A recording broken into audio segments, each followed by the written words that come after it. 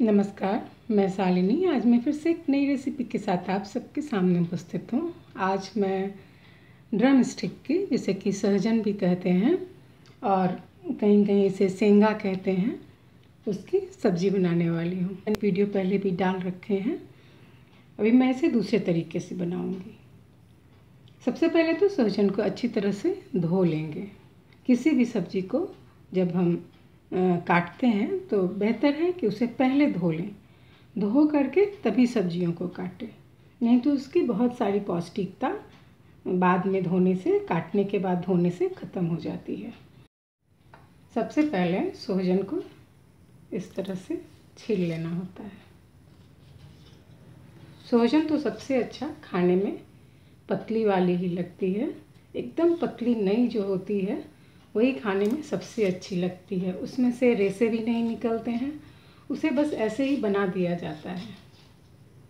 उसके बाद फिर एकदम मोटी हो जाती है, तब खाया जाता है। तब अच्छी लगती है।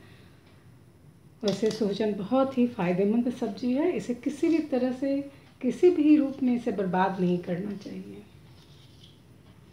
इस तरह से इसे छिल लेंगे। और कभी भी सोजन लें तो थोड़ा सॉफ्ट देख कर लें, नहीं तो कड़ी रहेगी तो खाने में अच्छी नहीं लगेगी। इस तरह से सोजन को काट कर और अपने मनपसंद पीसेस कर लेंगे। मैं थोड़ा बड़ा बड़ा करती हूँ ताकि इसे चूसने में आसान होता है। इस तरह से इसके इतने बड़े पीसेस काट लेते हैं।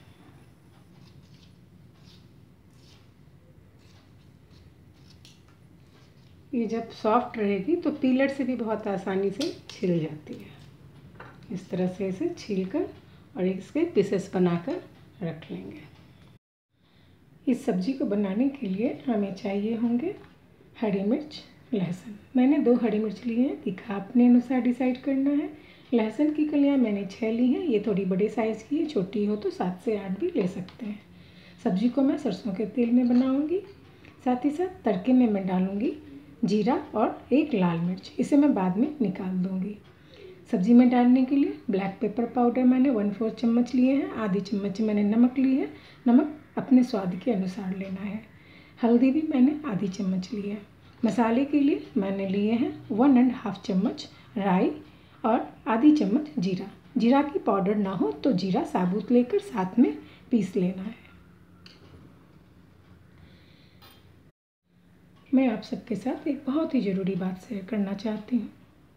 आप चाहे जो भी तेल खाते हो, सभी तेल अच्छी होती है, सभी तेल बहुत फ़ायदेमंद होती है। हम जिस जगह पर रहते हैं, उस मिट्टी की उपज हमारे शरीर को लगती है, हमारे शरीर को फ़ायदा पहुंचाती है। लेकिन जो जिस तरह से है, उसे उसी तरह से स्वीकार करना चाहिए। हम लोगों ने आजकल रिफ़ाइंड ऑयल इस्तेमाल करना शुरू कर दिया है। मैं उसे कभी भी इस्तेमाल नहीं करती, मैं कभी भी रिफ़ाइंड ऑयल इस्तेमाल नहीं करती हूँ।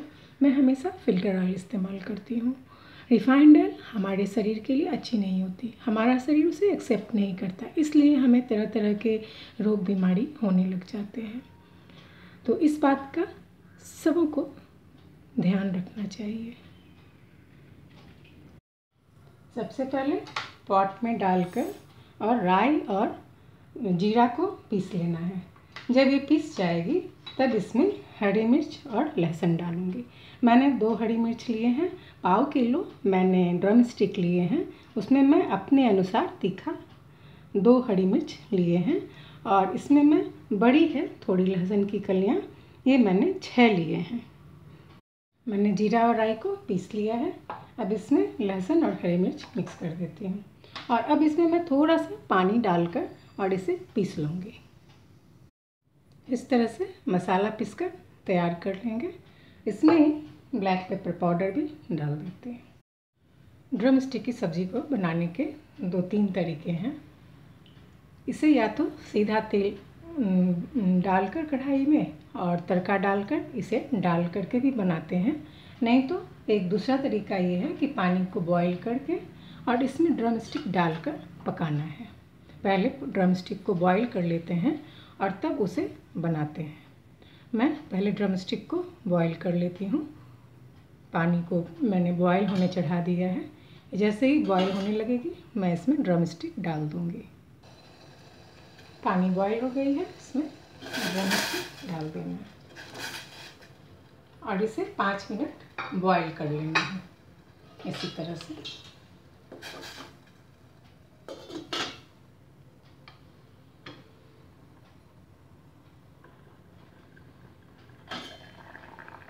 ये पाँच मिनट में खूब अच्छी तरह से बॉयल हो करके पक भी जाती है।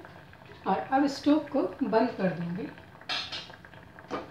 और इस पानी को रखना है। मैं इसी पानी को लास्ट में कड़ी बनाने के लिए डालूँगी। और इसे इस तरह से छान कर निकाल लेना है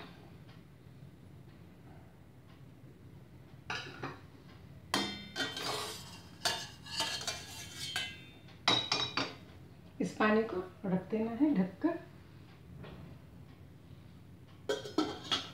तो चलिए अब सब्ज़ी बनाना शुरू करते हैं। सबसे पहले पतीले को या कढ़ाई, जो भी चीज़ है, उसको गर्म कर लेना है और उसमें दो चम्मच तेल डाल देना है।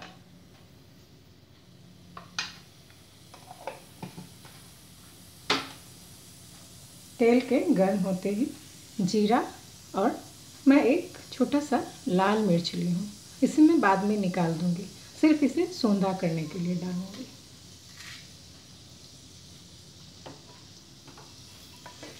और इसे थोड़ा चटकाना है।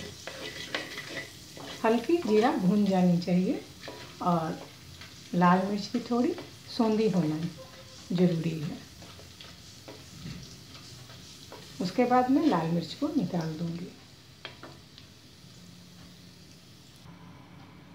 जैसे ही मिर्च थोड़ा कलर चेंज कर दे, मैं इसमें ड्रम स्टिक थोड़ी ठंडी हो गई है, इसे डाल दूँगी।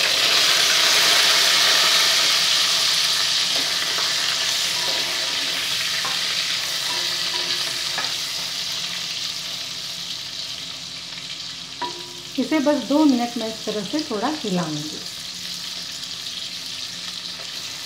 इसे मैं ज़्यादा भूनूँगी नहीं। इसे दो मिनट इस तरह से भून लेने के बाद। इसमें राई का पेस्ट डाल देते हैं।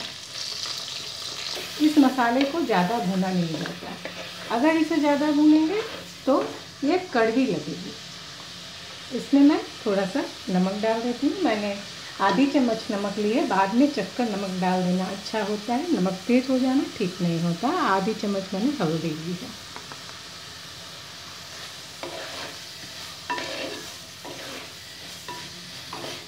इसे बस दो मिनट इस तरह से हिलाना कभी भी राइस मसाला को बहुत ज़्यादा भुनना नहीं चाहिए। कड़वी हो जाती है।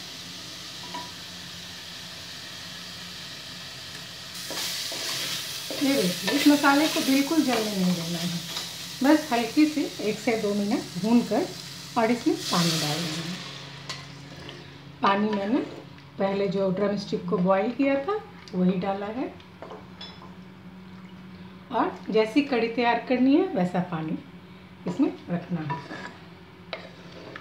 क्योंकि पहले से ही ड्रम स्टिक पकी हुई है, मैं इसे बस पाँच मिनट के लिए पकाऊँगी ताकि मसाला अच्छी तरह से मिक्स हो जाए। इसे इस तरह से ढककर पाँच मिनट के लिए छोड़ देना है। पाँच मिनट में ये सब्ज़ी देखिए, इस तरह से बनकर बिल्कुल तैयार हो जाती है। कड़ी अपने मन मुताबिक बनाएँगे। अगर हमें लटपट बनाना है तो पानी इसमें थोड़ा कम डालेंगे। मैंने इसमें हाफ़ लीटर पानी डाले हैं। मुझे इसे थोड़ा कड़ी तैयार करना है। और जैसे ये ठंडी होगी, मैंने इसमें देखिए, इस तरह की कड़ी रखी है।